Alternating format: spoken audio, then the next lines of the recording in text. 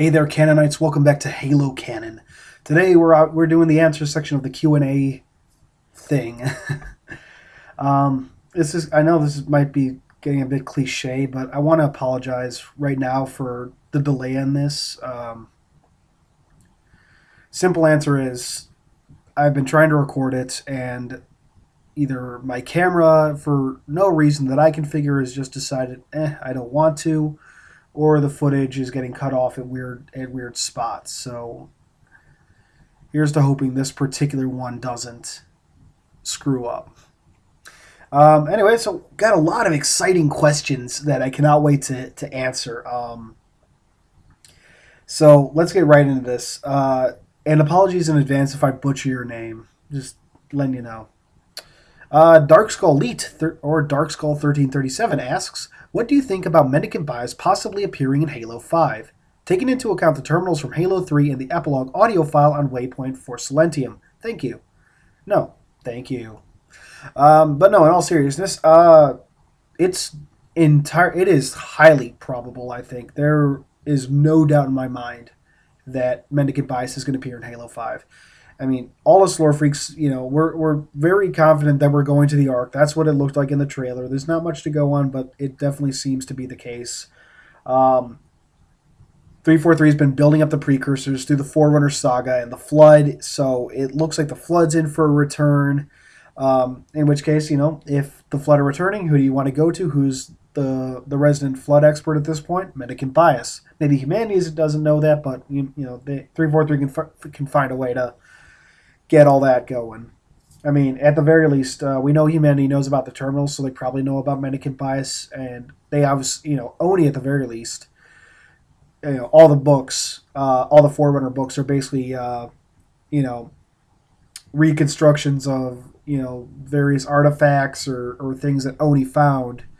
Uh, mostly, it looks like on Trevelyan, but um, or sorry, I know I butchered that name but uh, either on the shield installation, the Onyx shield installation, or in the case of Primordium, you know, 343 Guilty Spark slash Chakas.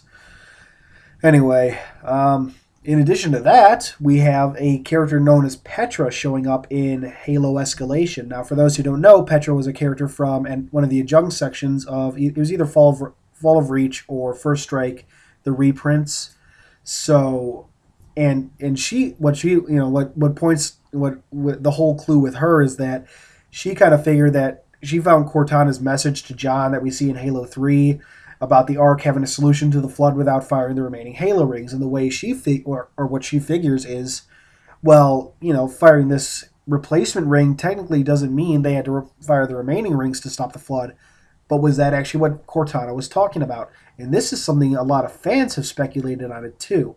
So with Petra showing up, it does seem to indicate we might be going back to the Ark if all the pieces that we seem to have fit together as we predict.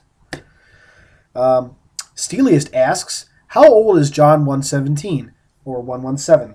I don't know why I said 117.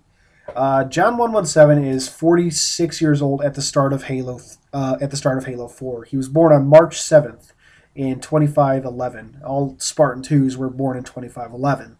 So, yeah. Uh, what is John's home planet? Um, Eridanus or Eridanus, I'm actually not sure, but I'm pretty sure it's Eridanus. Um, Eridanus 2. Uh, do you watch Machinima? If so, what is your favorite? Um, I used to watch a lot of Machinima. I used to go to machinima.com every day, watch all the new stuff, or I'd subscribe to their you know YouTube channel. I'm still subscribed, but um, you know I mostly go for I don't know. Sometimes gaming news. I don't really watch them that much anymore. But you know, back in the day, watch Sprigs, uh, Gears of Halo Theft Auto, Inside Halo, back when that was still a thing. For those who don't know, Inside Gaming started as Inside Halo. So yeah, that was you know way back when, way back when Halo Three came out. Um, just strange to say, it's seven, almost seven years. Today will be this, or this year will be the seven year anniversary of Halo Three. But um, no, what was the other thing I was thinking about? Um, Sprigs, Gears of Halo Theft Auto, uh, the Codex, one of my favorites up there. If you haven't checked out the Codex, and it does have a couple prequels and sequels. And I think the group that did it is actually still doing some stuff. I think they're doing like a live action thing now, or they did do a live action thing, something like that.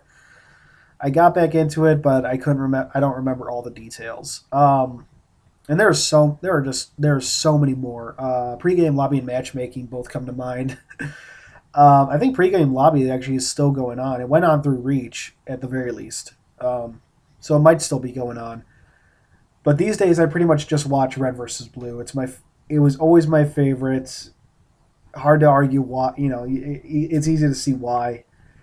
Jumped on that bandwagon bandwagon um, back in high school, and I've been riding it ever since can't wait for season 12, right?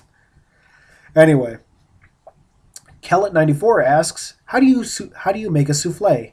Actually, Kellet94 and Kellel ask, how do you make a souffle? Google. Google is how you make a souffle. They have an app on Android phones, Instant, Instant Souffle. Or Doctor Who. Doctor Who is a good way to make a souffle too. Um, Bradley Meyer asks, what do you think Halo 5 needs to be a solid game like Halo's 1, 2, or 3? I'm not saying Halo 4 was bad, but it wasn't on the tier of the others. Also, what do you think of a release date push to 2515? Is it good? Is it a good thing, and why? So, what does Halo 5 need to be a solid game like Halo's 1, 2, or 3?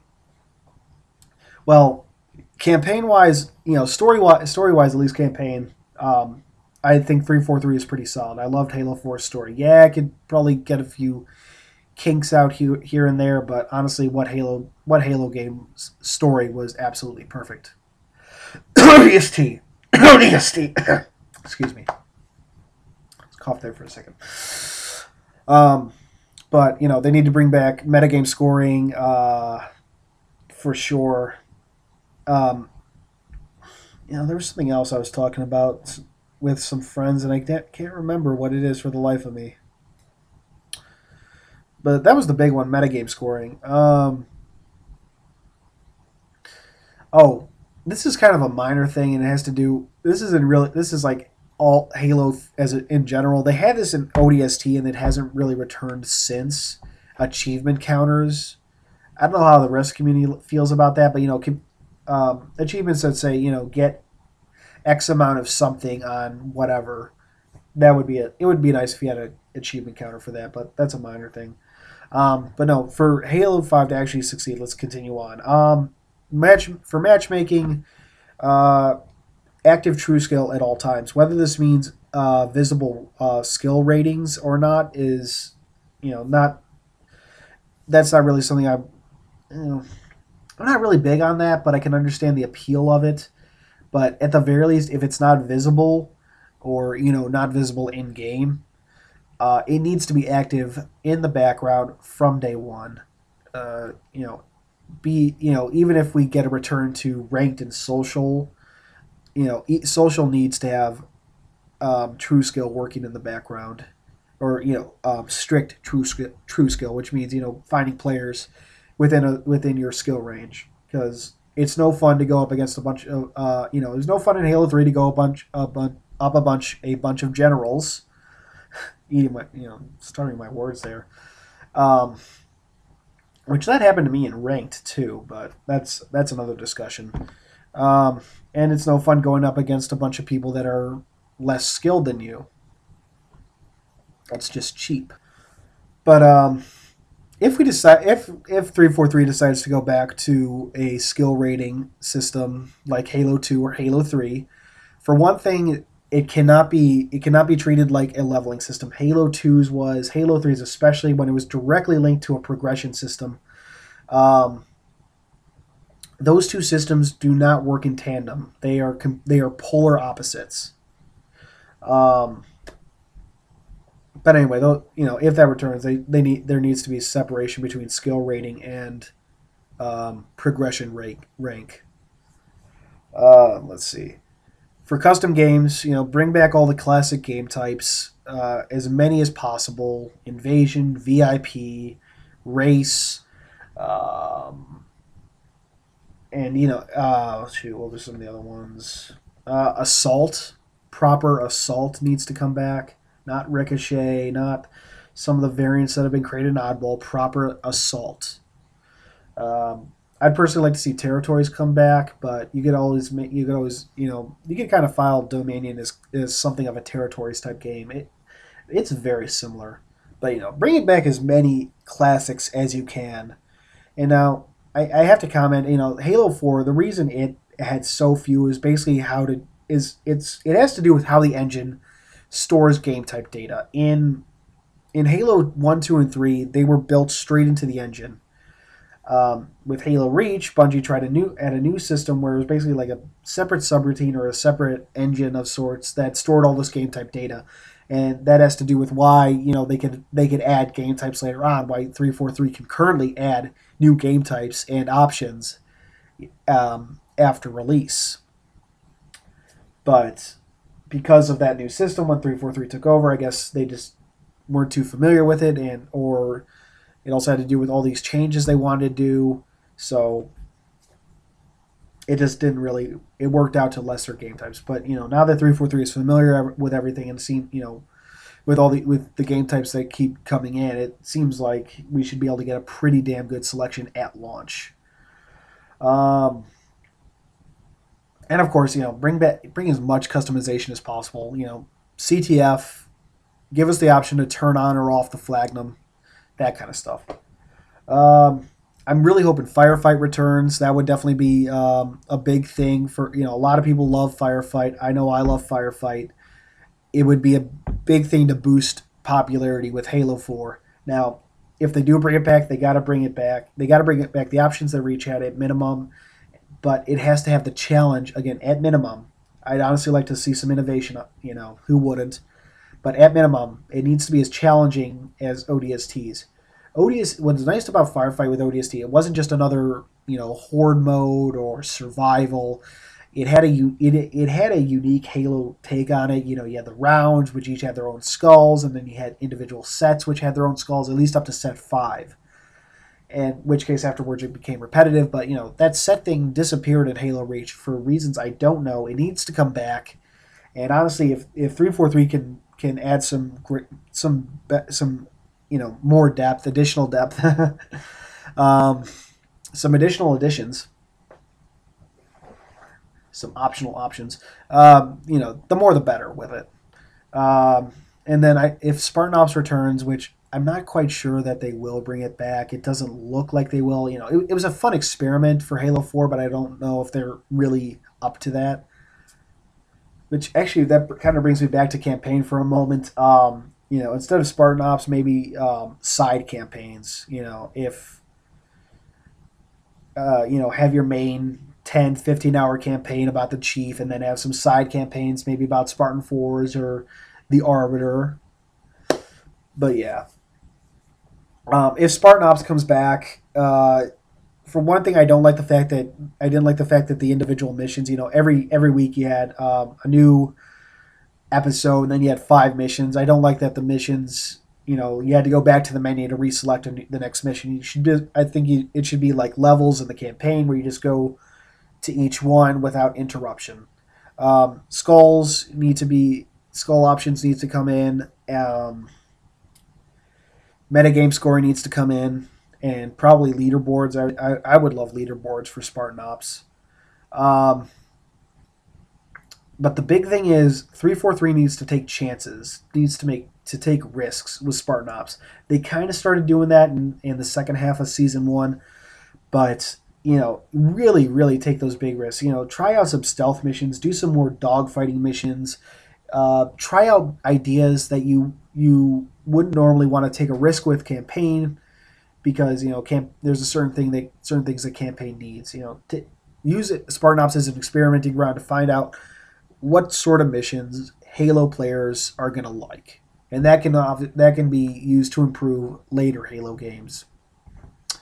Um, i don't really want to touch too much on forge because i don't know a whole lot about it but you know make make forge better. That's pretty much what i got. Jake mega asks do you believe that there's any potential in making Halo's uh, multiplayer canon? Do you think it should return, and how do you feel about uh, your Spartan being a canonical character? Well, to start, your the Spartans, your Spartans are not canonical characters. Um, they're just an avatar in the Halo universe, much like the Chief was in Halo CE, but they uh, they are not canon at, in any in any form. There are like three. There are about three hundred or so Spartan two or sorry, Spartan fours on Infinity, and you know, an unknown number possibly active in other parts of the galaxy. But you know, their their numbers are limited. Pro- I doubt it goes much over 500, certainly not over a 1000. So, not the, you know, not the 20, 30,000 that are playing Halo 4 every day. But as for story potential for making it uh, multiplayer canon, there's not a whole lot. I do want to see it return because I thought it was a nice, you know, nice little twist. And for the most part, it's more about Easter eggs and like nods to to the multiplayer fan base. Like you know, in Halo Escalation, the first issue is starts out with Sarah Palmer playing Invasion. That was a nice nod to Halo Reach and to multiplayer fans. Um, in Halo 4's campaign, the level shutdown, there you can you can actually find you know the the multiplayer announcer, uh, or you can find like the area that's supposed to lead to the war games section of the ship. But you know if you hit the right button, you get the multiplayer announcer saying "War game shut down" and stuff along those lines. Like, you cannot access. You know, so it's more about that. Not, so, but you never know. There could be ways to really work in um, a, a really good story with it. So I do hope it returns. Um, Ryan Barshik asks, the Halo community isn't as big as it used to be. Do you think it will ever regain its popularity? Though I do like it smaller, it was cool when everyone used to play.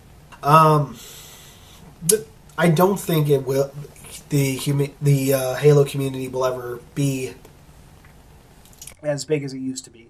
Um, not so much because of the changes that that have come to Halo, but mostly because of the gaming market as it is today if you go to Wikipedia, search, you know, 2007 in video games, 2008, 2010, 2013 in video games, and just look at the number of video games that are releasing every day, or every week, I should say.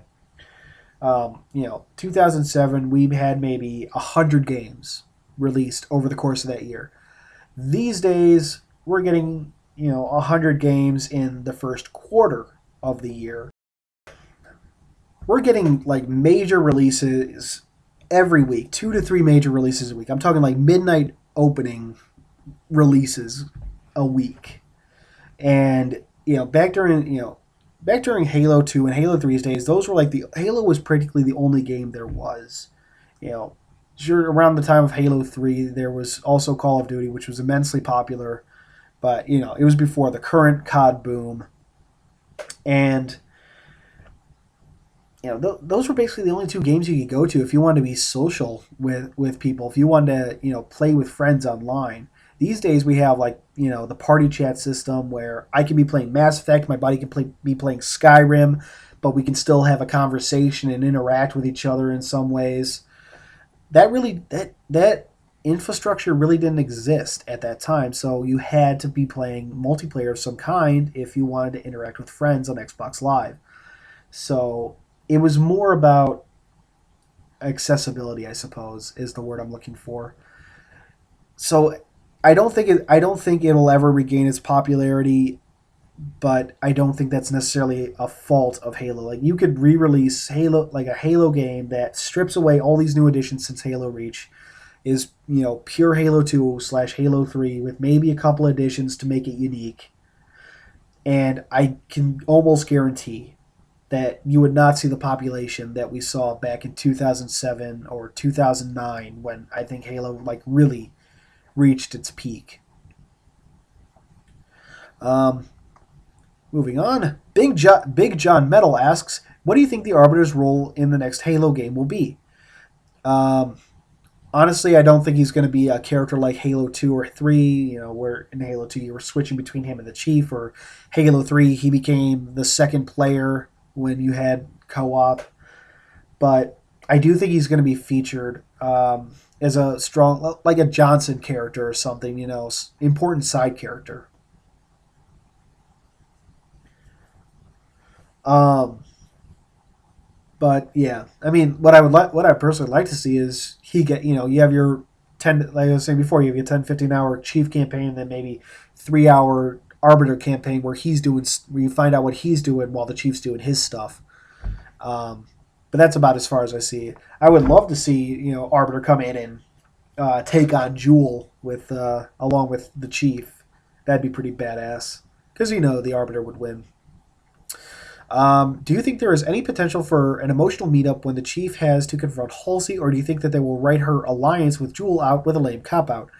Um, potential for emotional for emo, for an emotional meetup, absolutely. Uh, you know, I mean, just look at what happened. What happened with Halsey when she found out John was alive in Spartan Ops, and um, I'm sure the chief, you know, is is been is eager to see Halsey too, especially you know after after Reach, you know, or um, after she disappeared with Leia, because the last time he saw her was when she disappeared with Kelly in Ghosts of Onyx. So I'm sure I'm sure he wants to know what's up.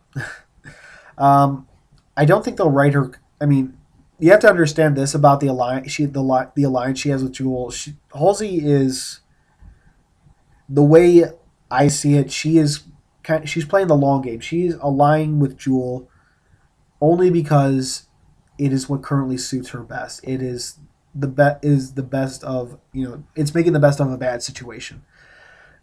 Because um, if she doesn't ally with him, she just gets killed most likely. Uh, no skin no skin off Jul's back. But ultimately, the way I see the way I see her alliance, uh, it's a temporary one, and she's you know she's playing it close to the vest. She and you know maybe she want, she actually does want revenge, but it would be on Oni or or Sarah Palmer and and Osman specifically, maybe even Lasky. But does she want to destroy humanity like Jul does? Absolutely not. So I'm going to be interested to see exactly what 343 does, but I don't think they're just going to cop out of it. Um, also, what do you think they'll do with Cortana? Will she be born th- uh, born as a uh, born as a human through the composer? No. Or will the chief get her back, but, but at the cost of her memories, uh, memories, past feelings towards John, essentially a blank slate, uh, essentially a blank slate for a sort of bittersweet reunion. Um, I do think she is permanently gone. She might, you know, there, there's some ways you could uh, figure out to kind of write her back in and some like not in not as a full blown comeback, but maybe you know fragments of her in some Forerunner tech, or even some fragment of her that survives in John's suit in John's Mjolnir. Um, but ultimately, she is gone, and she's absolutely not coming back through the composer. Um, I've been I've hated this idea ever since it first popped up. You know, after Halo Four came out. Uh, the Forerunners couldn't even figure out how to get a, a, a person who had been digitized by the composer back into be in, into an organic body without severe side effects. And hell, even the composed bo- you know composed minds had some pretty bad side effects um, without being turned back into human. So, um, yeah, she's not coming back. She's not gonna and we're talking with Cortana, we're talking about a personality that never was human. Yeah, she's based on Halsey's brain, but Cortana herself was never human. Um, there was something else I wanted to say. Oh yeah, the other thing is, if 343 brought her back, it would just cheapen the story of Halo 4. And I mean, it was incredibly brave for them to kill her off like they did, and to bring it back to bring her back would would just cheapen her cheapen the story of Halo 4 and make her sacrifice meaningless. So it, it'd be like bringing Johnson back in any way, shape, or form. Nevertech asks, "What is your favorite moment in Halo ever?" Ooh, this is an exciting one. My favorite moment is from The Impossible Life and Possible Death of Preston J. Cole, the short story from Halo Evolutions, and the final entry in the Halo universe, at least thus far, by Eric Nylund. Near the end, Cole is taking on an entire Covenant armada. His ship, he's evacuated his ship, so it's just him. And what does he do to take out this Covenant armada? He ignites a brown dwarf. He ignites a star to take them out. I mean, that is so epic. Oh god, when I first read that and imagining that in my head, you know, if 343 ever adapts um, Halo a Halo Evolution story to a motion comic again, I want to see the Impossible Life and Impossible Death of Preston J. Cole just to see him blow take out an arm, a Covenant Armada with a sun. Fuck yeah.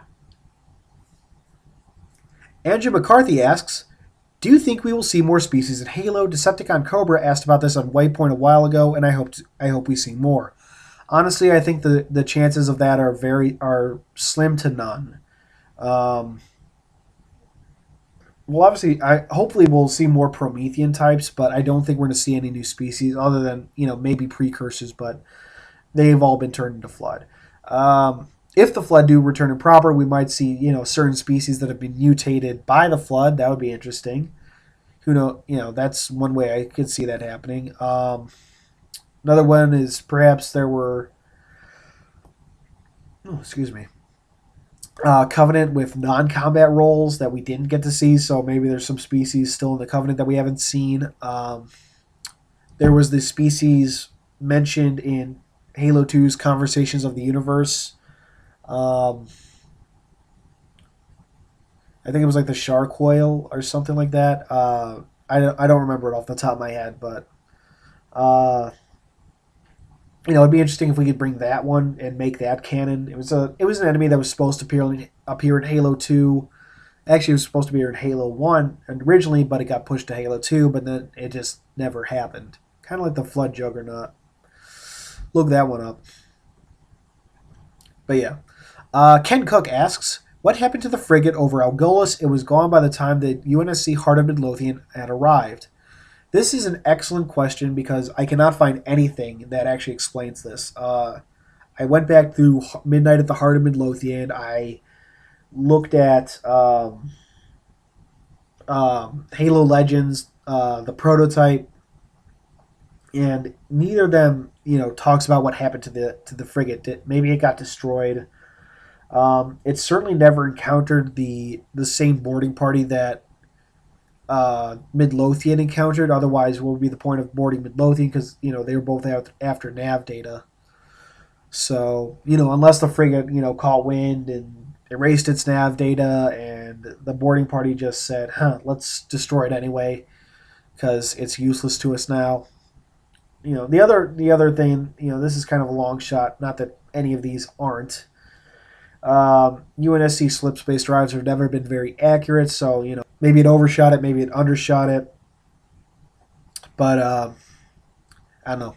There's nothing to, to say. There's there's no there's no clues to look into it. Sorry. Uh, Pink Theory asks, my biggest question is why did Halsey's life depend on developing the Spartans? First strike, I think. Did her geas tell her to do it? If not hers, then who? I couldn't find anything that talked about Halsey's life actually depending on creating the Spartan twos. I mean, there's plenty of stuff about her uh, or from her saying, you know, you know, it was uh, it's absolutely necessary to keep humanity alive as a species. You know, based on her own findings, based on the Carver study.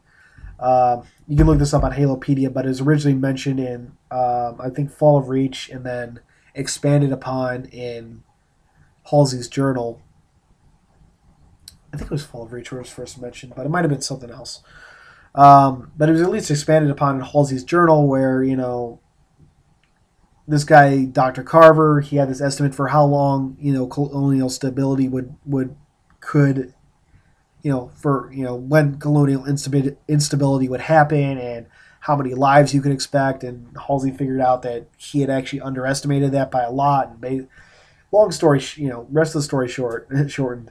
Um, you could argue that this civil war, you know, the insurrection between the UNS, you know, could lead to human casualties rivaling those in, you know that occurred as a result of the Human Covenant War.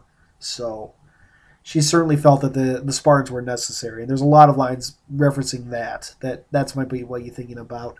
Um, as for her geas guiding her to the Spartans, absolutely based on lines from the librarian in Halo 4, and uh, even when she meets up with Librarian and Spartan Ops, it seems, you know, that Catherine Halsey was, for lack of a better word, destined to create the Spartans, to create Cortana, and to create and to create Mjolnir.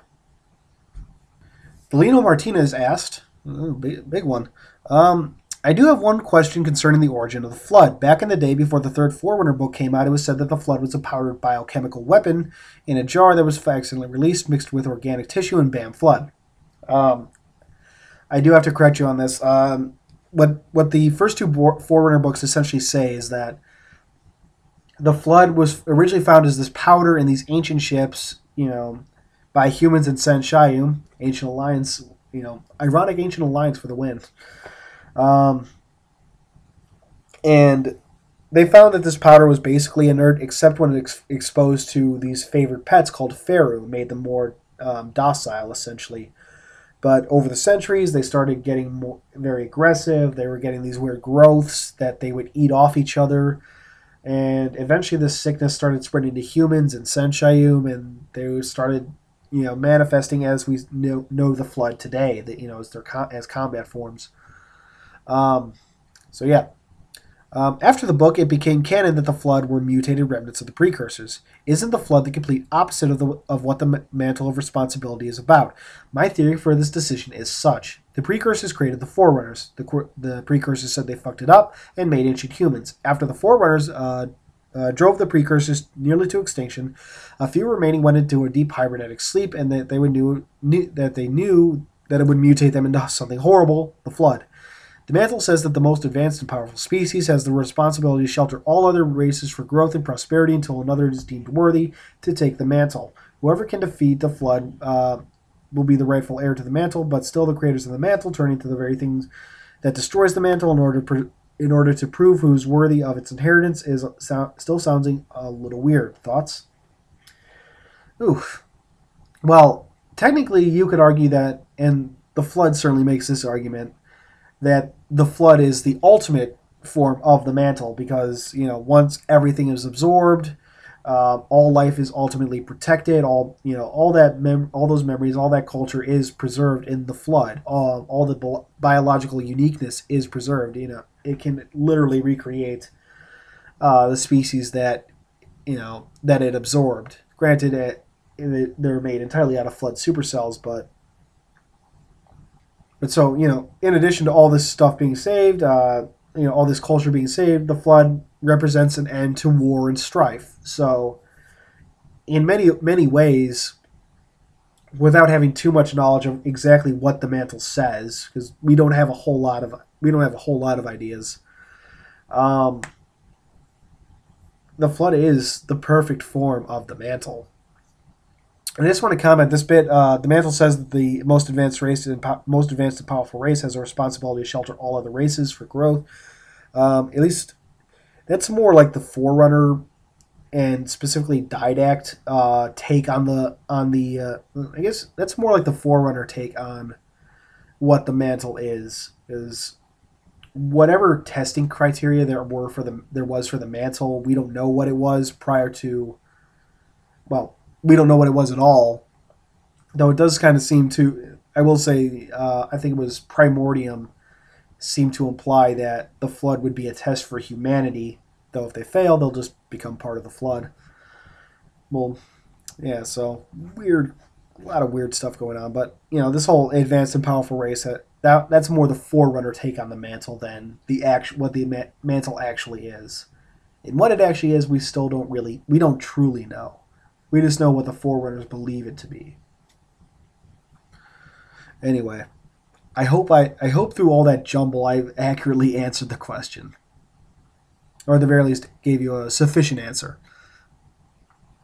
Uh, Sean Seeley asks, uh, it does seem like 343 is building up Sarah Palmer to be a main character and feature Halos, Spartan Ops, comics, and now Spartan Assault. Do you think that we will see a FPS base based around Sarah Palmer in the future? Sarah Palmer, not so much. I mean, a lot of the stuff that we've seen with her recently was just to explain her backstory. And while she is a main focus for a lot of stories, especially um, Escalation now, uh,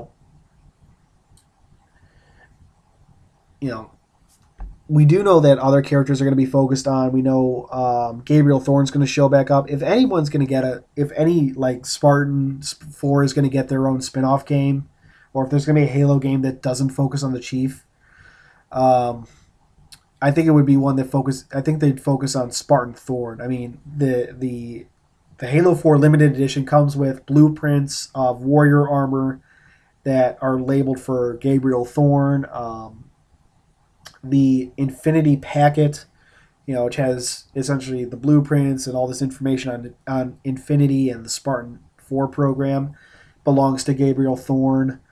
Um, so if there's anyone that they're eh, they're gonna you know make an FPS around, I, I would say Gabriel Thorn, and that I would absolutely love to see. If they're gonna, but if they do do Sarah Palmer, they really got to work on her character because I have not seen her very well received. But that's my bias. Uh, Thomas Connell asks. Just curious, what is Red versus Blue Red versus Blue's place in canon? I seem to remember Bungie announcing it was canon a while ago. Now, I couldn't find anything about a Bungie announcing it as canon, but Rooster Teeth, the creators, uh, their stance is that uh, Red versus Blue is not canon, um, and they don't want it to be because they they would feel too restricted.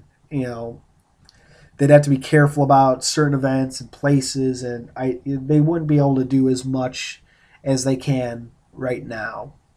So, Red versus Blue is not canon. So saith Rooster Teeth. Um, all right, fun time. Well, our last batch of questions come from a, a fan site called Halo Archive. I'm going to leave some links in the description below so you can check them out, and absolutely do check them out. You know, it's a great, it's one of the, it's a great Halo fan site. It's very small right now, so, but um, you know, their community is always growing, um, and a lot of members there are very knowledgeable of of the lore and and so and uh, it's a great place. So just check it out. Take my word for it. Um, anyway, questions. What do you think are the chances? What do you think the chances are of there being, or what do you think the chances are of there being other races within the Covenant that weren't mentioned because their duties aren't aren't fighting? Um, I don't think it's very probable. It is possible, but not probable. I just don't see it as likely to happen.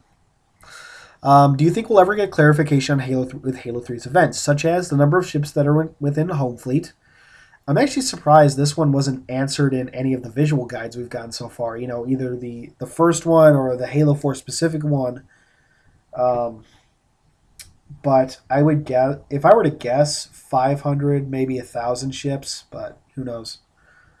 Um, we certainly know it's more than 100. um, how were the SMACs still up?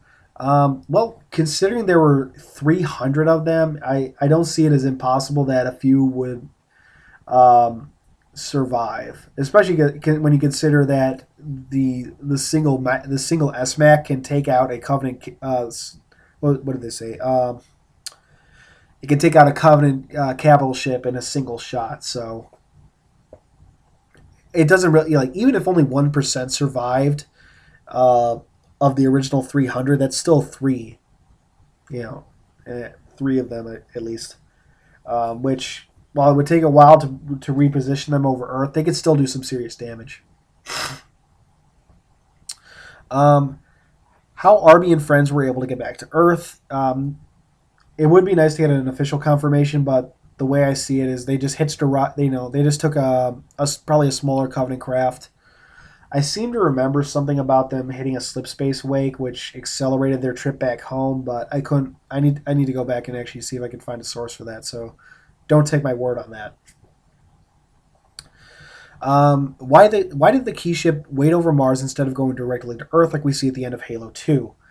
Well, with Halo 2's ending, you know, the original ending for Halo 2 was you'd go back to Earth as the chief, and the art, the the um, what eventually just became like the the portal to the Ark was actually supposed to be the Ark. But you know, when when Halo Three went in development, Bungie had to come up with all these new ideas. Basically, there was this big retcon in which, and you can go to you can go to Halopedia, either the the the page the page about the key ship itself or truth truth's page, yeah, truth's page. and they'll have a link to a Bungie weekly update, which basically explains why the you know what the key ship was doing. It basically you know, from High Charity, went to the to the Sol system, but it came in pretty far out system, and you know, kind of went in at relativistic speeds for a while. Then eventually it jumped further in system, eh, or I think it like pretty much it was pretty much going relativistic from you know the time it came in to pretty much Mars. So I don't know that it actually stopped over Mars, but it, it was going pretty slow for a while, and that's because they eventually they knew the chief was on board. You know, the chief tried to kill Truth, but it didn't work out. So he was kind of running all over the ship trying to evade the Covenant. Um, if it did wait over Mars, my guess would be it has to do with the key of Usulon, assuming I pronounce it. I remember that correctly. You know, the thing uh, Ackerson made up to, you know, save his brother and Cleveland from getting killed by the Covenant. But, you know, basically after all that went down, then it jumped in system and the chief signaled uh, um, Cairo station saying, Sir, I'm going to finish this fight. Yeah. Do you think it's possible? Do you think it's possible for the other contender class AI mentioned at the end of Cryptum to appear? Possible, yes. Probable, I don't think so. Um, I don't know. I, have always been of the mind that they prob- that most of them probably got destroyed during the attack on the Citadel. Um, but don't get me wrong, I would absolutely love to see the contender class AI show up. And, you know, other than Mendicant bias, mostly I like I want to know what offensive bias has been up to. I mean, my my you know top of the you know off the top of my head, my guess would be that he's been with the surviving forerunners, well, the descendants of the surviving forerunners, you know, helping them out. But still, would love to know what's going on with it with uh, that one. Who knows? Maybe the other contender class AI are with those surviving forerunners, and we might find out. Wild speculation. Um, how is it even feasible for humanity to become a galactic powerhouse after being nearly wiped out during the Human Covenant War? Humans went from being devastated to the top of the food chain in about four years. How did they get to the, the resources, manpower, etc., to rebuild exponentially uh, to something of an even greater caliber than their prime in the war? The way I see that is that they aren't actually as powerful as we perceive them because all our all our uh, all our media has focused on the infinity so which is the most powerful sh- for all intents and purposes is the most powerful ship in active ship in the galaxy um, you know, it's it's certainly more powerful than anything the Covenant ever had, minus High Charity, arguably. But um, anyway, so we just get this we just get this perceived illusion of of uh, of humanity being a powerhouse. Um, though you do raise an it does raise an interesting question: where do they get resources and manpower? Um, as for resources, now this dates back to like 2001, the Halo Xbox page, and while a lot of that um, information has since been de- uh, declared non-can or I don't know if it was ever declared, but it was certainly overwritten by newer canon.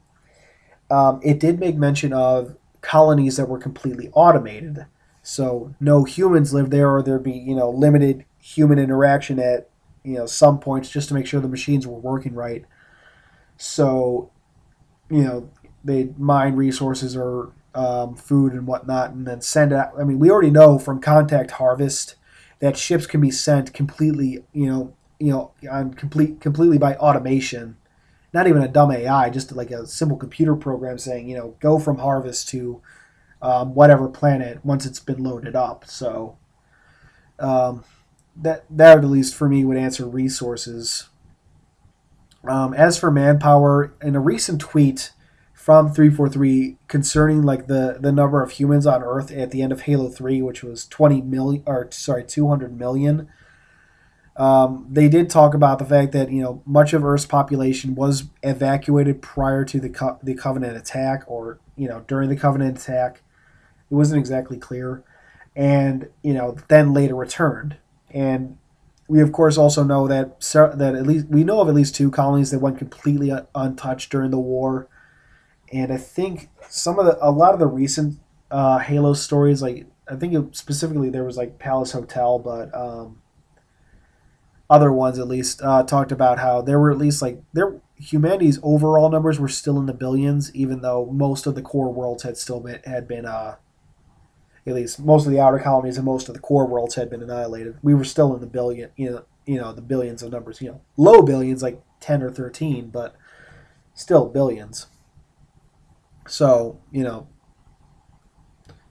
that that that's the way I see it. I guess more about a perceived uh, we're more of a we just appear like a juggernaut. Um, not so much that we actually are. You know, if we were to lose infinity, I would imagine that humanity would be fucked. anyway, seeing as the Prometheans are likely to be expanded upon, do you think Jul will allow the Didact to compose his forces? Um, would Jul allow it? I don't think so, if only because he actually knows that the Forerunners are not gods. You know, he is aware of the truth. Um, whereas all his forces, um, being from, I, I, believe the planet was called Hesduros, the or the the Sangheili colony of Hesduros.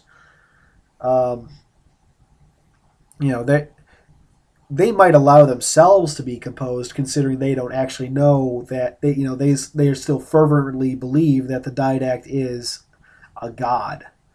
So, I don't think that Jul would allow but his forces might volunteer. Be an interesting plot point. Uh, let's see. Let's see where were we. Why haven't the Co- Why haven't the Covenant used the teleportation spires prior to or after the Battle of Reach? When did they get the teleportation technology? Well, we've seen plenty of teleportation technology in multiplayer maps, and I know that's probably the weakest place I could try and derive canon from. But, yeah, the teleportation technology itself is canon, so you could say that they've kind of always they've had it for a while, um, at least in to some degree.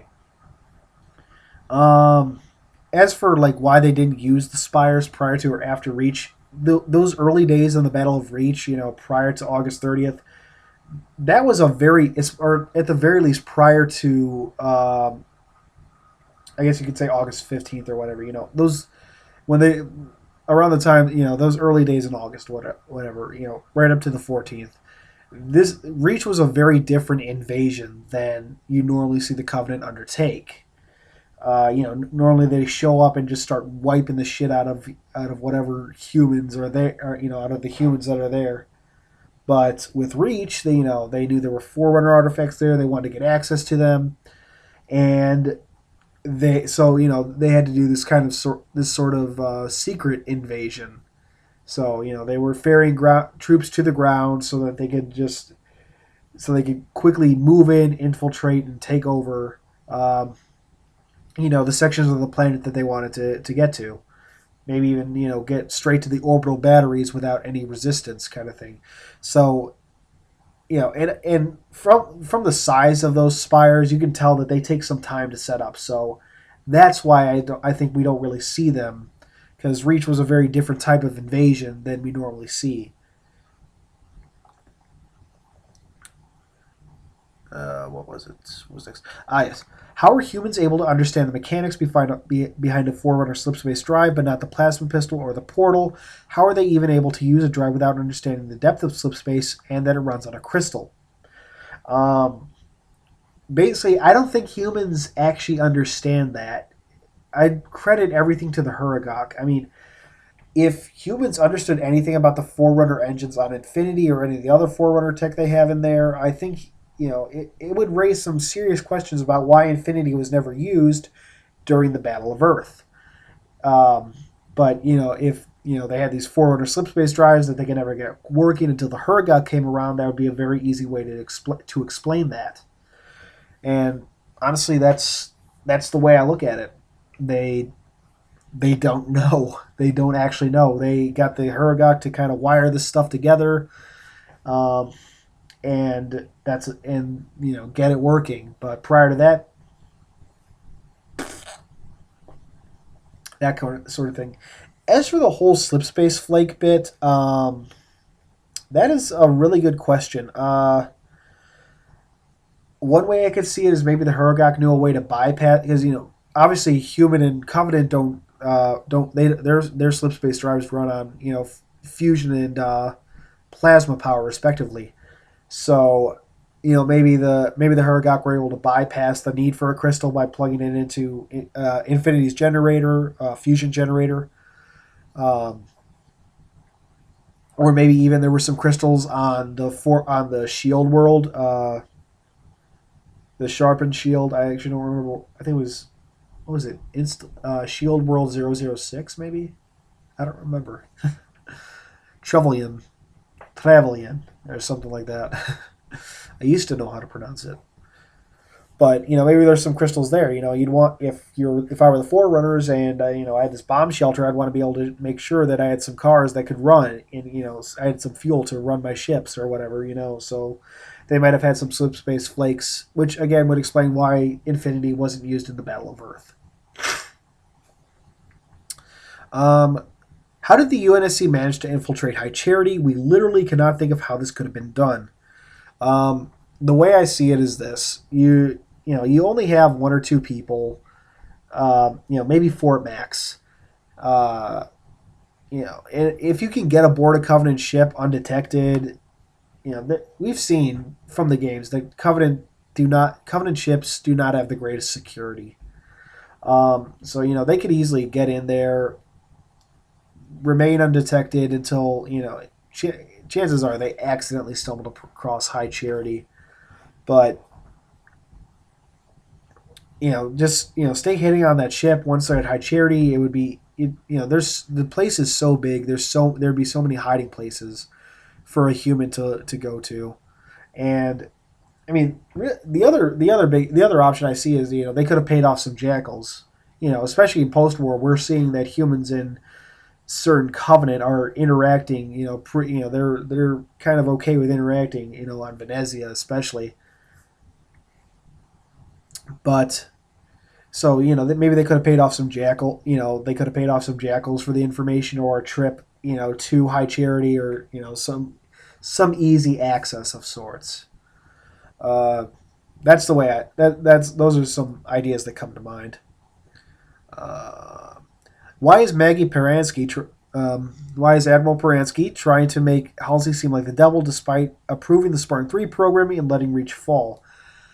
This is the question that takes the cake. I have no goddamn idea.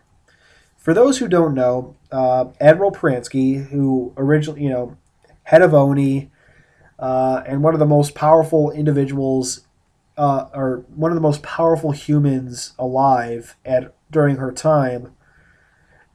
You know, she approved the original Spartan program. She and she approved the Spartan three program, which while they didn't kidnap kids, they were still using and augmenting kids. Granted, at a lower risk, but again, still using kids and she basically decided to let Reach fall to for the for the sake of the up for the sake of Operation Red Flag. Now, yes, she you know she's sacrificing lives for the greater good, but that's basically what the Spartan Two program was as well. Um, you know, Maggie or or Parangosky is in no is in absolutely no position. As I said, actually, in my Mortal Dictata review, Parangosky is in no position to make moral judgments about Halsey, considering her own checkered past, which is arguably worse. Actually, no, it isn't arguably worse. It is worse. She's the head of ONI. She's ordered people's deaths. Some of them were assholes, but not all of them. So I don't know why. I, the better question I think is why is why is three four three trying to make Halsey into the devil? And that I do not know. Frankie seems Frankie recently said that it's supposed to pay off for us soon, but oh, it better be a worthwhile payoff. That's about all I can say about that. Final question: What do you think Reach was for to the Forerunners? What do you think is the story behind the massive Forerunner ship there? Um, I don't think that Reach was anything special. I know some have speculated since Cryptum came out, and I shared in this speculation. I must admit that you know there you know slip space flakes come from this master crystal of sorts, the Master Emerald, to make obscure Sonic references. Um, you know, maybe this is where it was stored, and that's that's might maybe that's what the uh, the weird crystal that they found in First Strike was, or at least it was a fragment of that. I certainly still believe that it was a that it was a slip space flake or a slip space crystal of some sort, you know, used to power uh, forerunner forerunner ships. But anyway, um, I don't know if it, I don't know if it was anything special to them, but that that's one idea I know has gone around and I've shared it. Um, what do you think is the story behind the the massive forerunner ship there? Uh, I don't think there's any real story there. You know, chances I, I would guess that it probably crashed or it was on reach and then you know over the centuries got buried by the ice. But I would I would probably guess that it crashed on reach. You know, maybe there were these forerunners out on. Yeah, it comes to mind actually. Imagine that maybe there were some forerunners on the, on the front lines because I believe I don't know if it was ever confirmed. We know we know that Earth is outside the mag uh, the Maginot Sphere, so I would pro considering the proximity. I think it's like what is it? Reach is like ten light years from Earth, something like that. Um, yeah, something like that. It's it's it's close. Yeah, ten light years, I believe. Um, you know, may you know, I would imagine that Reach was outside the Maginot Sphere, so maybe, uh, you know, some Forerunner ship was out there fighting the flood, and when the Halo array hit, it crashed on you know Reach's polar cap, and then the ship got buried by the ice. One way or another, either you know, be it that the ship was deliberately put there or that it w- it crashed at, for whatever reason, be it the result of the halo effect or something else. Um, you know, it, it was. Oh, where was I going with that? I lost my train of thought. Um, anyway, it was buried. You know, it was buried by the ice over the centuries. It wasn't. I don't think it was deliberately put that deep in the ice, but it was just. It just happened to be down that deep, considering it, it was in the ice. You know, melting and refreezing and new layers of ice, all that jazz. Well, that is it for our questions. Um, I want to thank everybody for submitting because these were all all of these were great questions. Um, I absolutely loved answering them, doing the research to answer that to answer them accurately. Uh, so thank you all. I hope I answered everything at you know at least adequately, but I hope I gave uh, some substantial answers for all of you.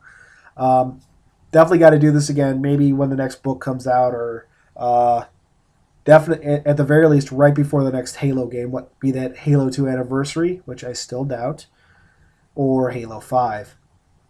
But we are, we are getting a game this year, so definitely within you know the, the next six or seven months, got to do this again.